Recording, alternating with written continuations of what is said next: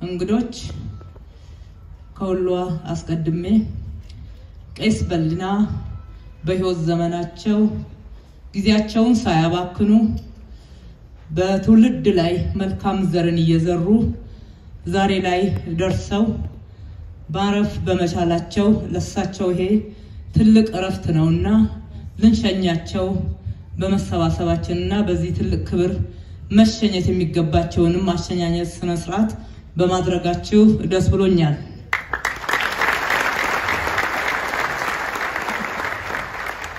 ቄስ በሊና ምንም ያባከኑት ጊዜ የለም። በምድር ላይ የተወሰነችውን የተሰጠቻችውን የተሰጠቻቸውን ጊዜ ፍቅርን ዘርተውበታል፣ ሰብከውበታል፣ እውነትን ተናግረውበታል፣ ለእውነት ቆመውበታል።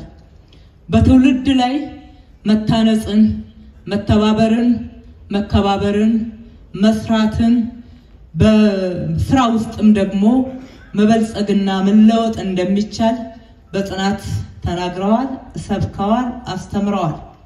ቄስ በሊና ታዲያ በማስተማር በመናገር ብቻ ሳይሆን በሕይወታቸው ጭምር ምስክር ሆነው አሳይተውናል። የተናገሩትም በመኖር በተለይም ለእውነት በመቆም እውነት መንገዷ አልጋ ባልጋ አለመሆኗን ለእውነት ደግሞ ዋጋ መክፈል እንደሚገባ በጽናት መቆም እንደሚገባ በሕይወት ዘመናቸው ራሳቸው ሕያው ምስክር ሆነው አሳይተውናል። ቄስ በሊና በሕይወት ዘመናቸው ብዙ እንግልት እንደደረሰባቸው ቅድም በሕይወት ታሪካቸው ሰምተናል። እሳቸውም በሕይወት እያሉ ያካፍሉን ነበር። እስራት ቢሆን ያልሆኑትን ስም መስጠት ቢሆን ነቀፋ ቢሆን እውነት እንደማትለወጥ ለእውነት መቆም እንደሚገባ በእርግጥ ያስተማሩን ጀግና አባት ናቸው።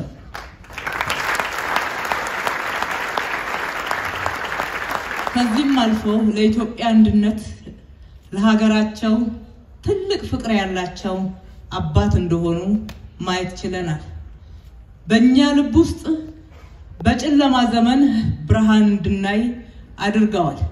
በተለይም ለኢትዮጵያ የከፍታ ዘመን በሚለው መልእክታቸው መጽሐፋቸው ያስተላለፉት መልእክት ቀላል አይደለም።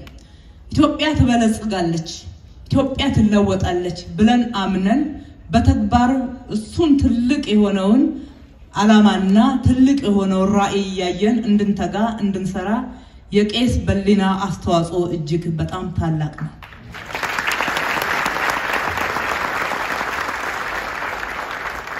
ታዲያ እሳቸው ለትውልድ ጥለውልን ያለፉትን ሕያው የሆነ የሚታይ የሚጨበጥ ስራቸውን እንዲሁም በልባችን ውስጥ የዘሩትን ትልቅ ፍቅር፣ ኢትዮጵያዊነት፣ አብሮነት፣ አንድነት፣ ለእውነት መቆም፣ ተግቶ መስራት እንዳለ ሆኖ ይህንን በመናገር ብቻ ሳይሆን የእሳቸው የትልቅ legacy መቀጠል እንዲችል ትውልድ እንዲገነባበት እንዲታነጽበት ዛሬ ኢትዮጵያን በተለያየ ማዕዘን እየናጣት ያለው አብሮ መቆም ትልቅ አደጋ እየሆነ እየመጣብን ያለውን ከሳቸው ሕይወት በመማር ትውልድ ሊከተላቸው ይገባልና እዚህ የተገኘን አባቶች፣ እናቶች ከሳቸው ሕይወት በመማር በማስተማርም ጭምር ለኢትዮጵያ ሀገራችን እንደሳቸው በአንድነት በጋራ በትጋትና በእውነት በጽናት እንቁም ማለት እወዳለሁኝ።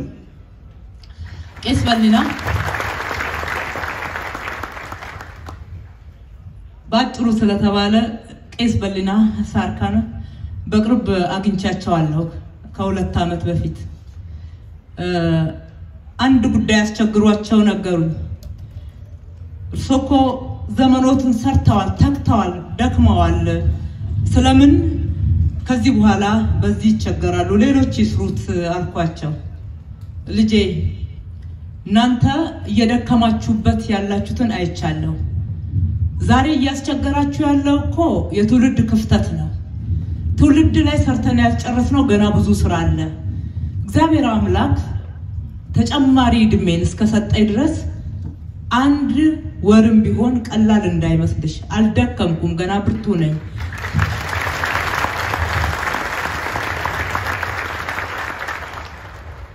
እነኚህ ታች ላሉ መዋቅር ብቻ በደንብ ይህንን እውነት ንገሪልኝ፣ እኔ ንገሪልኝ።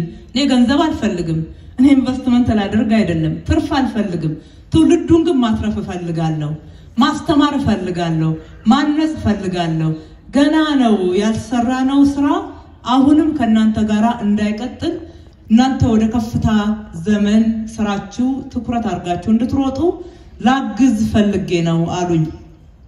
ቄስ በሊና በእርግጥ በጨለማ ዘመን ውስጥ ያ ሁሉ መከራና ምጥ ኢትዮጵያ እንደምታልፍበት በነገሩን ጊዜ ስንቶቻችን አምነን ጸልየን ተግተን ያንን ዘመን ቶሎ ለመጨረስ ጥረት እንዳደረግን ራሳችንን እንጠይቅ። ነገር ግን እሳቸው በመተንበይ ብቻ አላቆሙ፣ ተግተዋል፣ ሰርተዋል። በእርግጥ እግዚአብሔር የተናገረው እውነት መሆኑንም አይተዋል። መከራውን ብቻ አይደለም የኢትዮጵያ ምጥ ብቻ አይደለም አይተው ያለፉት ከፍታውም እንደጀመረ አይተዋልና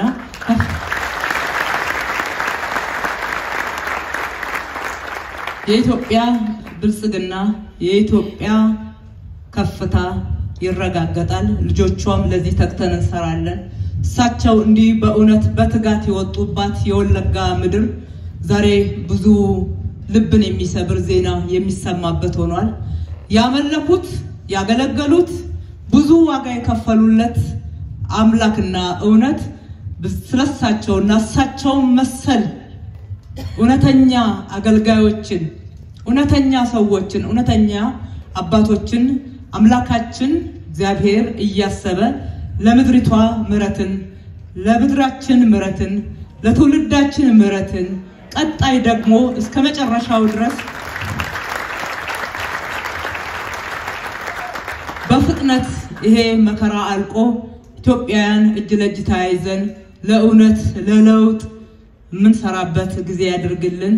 አባታችንን ነፍሳቸውን በአጸደ ገነት በሰላም ያሳርፍልን። ለወዳጅ ለዘመዶች፣ ለቤተሰቦች፣ ለምዕመናን ሁሉ መጽናናትን እመኛለሁ። አመሰግናለሁ።